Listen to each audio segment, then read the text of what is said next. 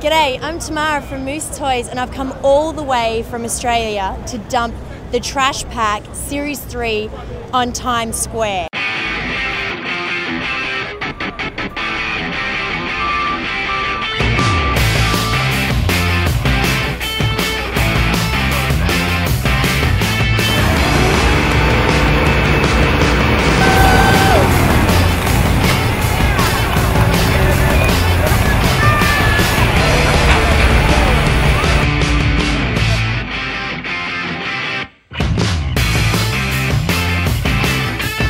Kids here at Toys R Us were the first in the world to get their little paws on these disgustingly fun guys.